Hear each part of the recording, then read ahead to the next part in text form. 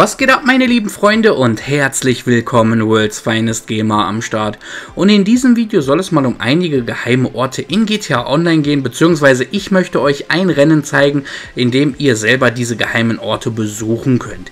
Ich feiere dieses Rennen einfach nur abnormal und ich spiele dieses Rennen schon seit PlayStation 3 Zeiten und deshalb habe ich mir gedacht, zeige ich euch dieses Rennen hier einfach mal in diesem Video heute. Den Link zum Job findet ihr auf jeden Fall unten in der Videobeschreibung, einfach draufklicken, im Social Club markieren und dann könnt ihr den Job auch selber spielen. Wichtig ist aber, dass ihr dieses Rennen als GTA-Rennen startet, denn sonst kann es Probleme in diesem Rennen geben, besonders dann halt beim Respawnen.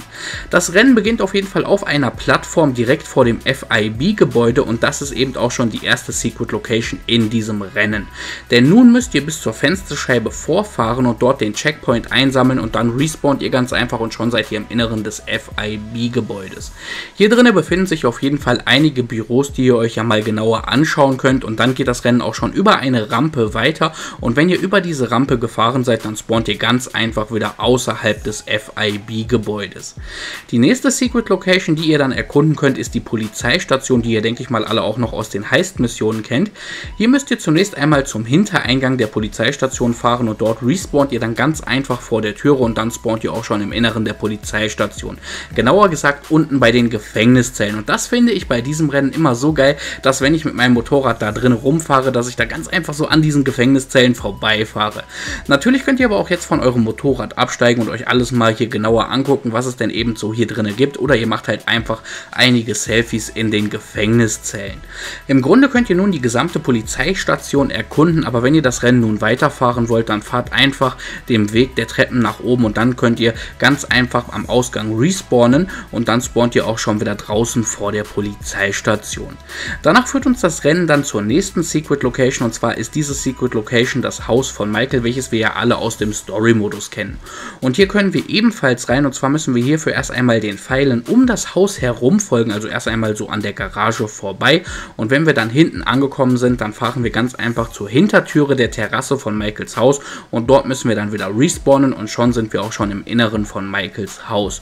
Und hier führt uns dann das Rennen eben nach oben in die obere Etage zur Toilette in Michaels Haus und dort ist eben dann auch schon der nächste Checkpoint drin. Natürlich sind im Haus auch alle Türen offen und ihr könnt überall rein und euch alles mal ganz genau angucken. Und wenn ihr wieder aus dem Haus raus wollt, dann müsst ihr jetzt einfach nur den oberen Checkpoint auf der Toilette holen und dann respawnt ihr und dann seid ihr auch schon wieder draußen. Der letzte geheime Ort, den wir in diesem Rennen besuchen können, ist ein Gebäude, welches eben kein Innenleben hat, aber in diesem Gebäude innen drin steht einfach mal ein Server drin selber und diesen könnt ihr euch halt dann im Inneren auch einmal in Ruhe angucken.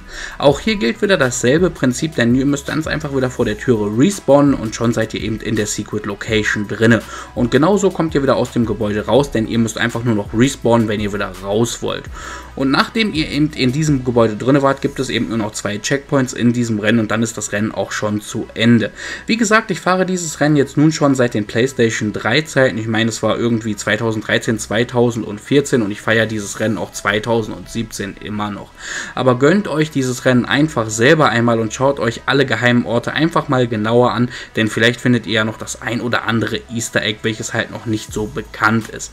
So, ich bin nun aber mal raus, habt auf jeden Fall noch einen richtig geilen Tag und wenn euch das Video gefallen hat, dann lasst mir auf jeden Fall einen Like da und wenn du neu auf meinem Kanal bist, dann abonniere mich kostenlos, denn dann verpasst du in Zukunft wirklich nichts mehr in GTA Online und dann sehen wir uns auch schon im nächsten Video wieder. Bis dahin macht's gut, bleibt gesund, haut rein und ciao.